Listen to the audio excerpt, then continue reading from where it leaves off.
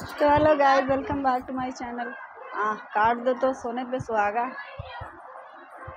So guys मेरा जो है तारी खाने का मन कर रहा है तो बोल रही हैं, प्याज और लहसुन को सिर्फ़ छिल दूँ या काट दूँ तो मैं बोल रही हूँ, अगर छिलने के साथ साथ काट दोगी तो सोने पे सुहागा हो जाएगा। हाय, फिर तो जल्दी से बन जाएगा, क्योंकि मुझे भूख जो लगी है।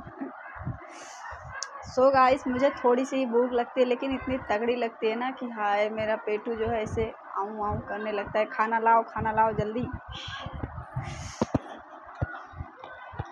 तो गाइस फाइनली मेरी वीडियो वगैरह बन चुकी है और सुबह तो मेरी बहुत ज़्यादा तबीयत ख़राब थी। पता है, मैं आज चार बजे से जाग रही हूँ, तबीयत ख़राब होने की वजह से। और मेरे पेट में जो है थोड़ी गड़बड़ हो गई थी। मैं कल खाना खा रही थी ना तो कोई था जो नज़र लगा दिया मेरे खाने में। तो गाइस नज़र लग गई थी, इसलिए मेरा जो है बहुत ही ज़्यादा टम्परेचर ख़राब हो गया। लेकिन अभी पचास परसेंट ठीक हूँ। पेट की दिक्कत जो है लगता है ठीक हो गई है। अभी मैं खाना खाऊँगी, उसके बाद में दस मिनट आराम करूँगी, फिर जाके मेहंदी वगैरह लगाना है।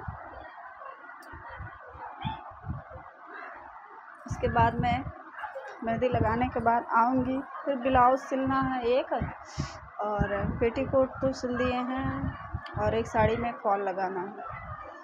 उसके बाद जो है, तब तक तो एकदम लात हो जाएगा, लात। सालवी की आवाज़ में बोलते हैं, लात, रात हो जाएगा।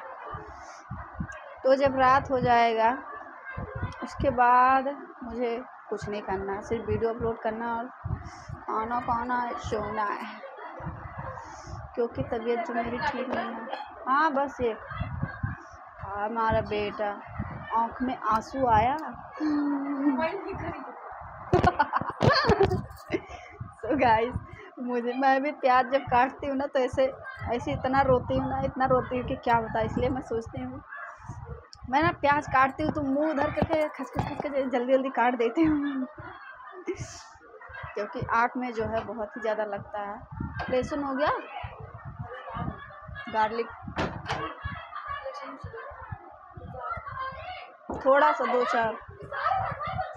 सो गाइस बाहर झगड़े हो रहे हैं। अगर कुछ सुनाए दे तो सॉरी प्लीज़ माफ़ करना। सुनाए दे तो समझ जाना कि गाँव में झगड़े उगड़े तो है, बहुत ज़्यादा होते हैं तो हो रहा है। आप लोग बिल्कुल भी टेंशन मत लेना। नहीं रहने दो।